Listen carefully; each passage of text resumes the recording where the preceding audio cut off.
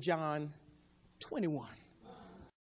And the Bible says that the disciple that Jesus loved is laying his head on Jesus' chest. And in an unprovoked conversation, Jesus stops eating and says, Peter, do you love me? Yes, Lord, I love you. Uh, feed my lamb. then he asked him a second time, Peter, do you love me? Yeah, Lord, you know I love you. Feed my sheep.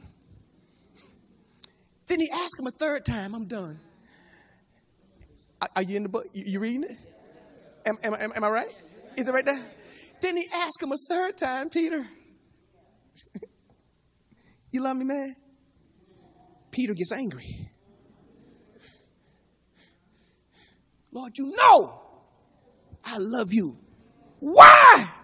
You keep asking if I love you. You sent me an invitation and I showed up in Galilee. That ought to be proof enough that I love you. I even said I was going fishing, but when I saw that you had resurrected, I jumped out of the boat. I swam to you in the midst of the water. What do you mean, do I love you? Well, feed my sheep. Translation.